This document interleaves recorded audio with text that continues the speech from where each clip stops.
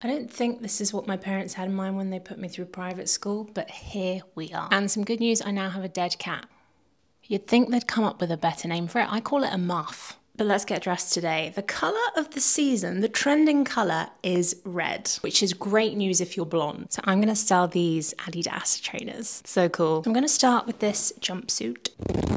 Finding a jumpsuit when you are 5 foot 10 and a size UK 18, it's tricky. Look at this one, it is perfect. And a pop of colour with the jumpsuit will work well. Best autumn scent ever, Thé Noir by Le Labo. If you haven't got this yet, what the hell are you doing? I actually have dreams about this fragrance. I'm gonna tie a jumper around my shoulders and I'm gonna choose some funky sunnies. These are like 30 pounds from Free People. And I'm gonna go bagless today because I actually have enough pockets. That is my final outfit and I am off to try a pumpkin spice latte for the first time. Basic.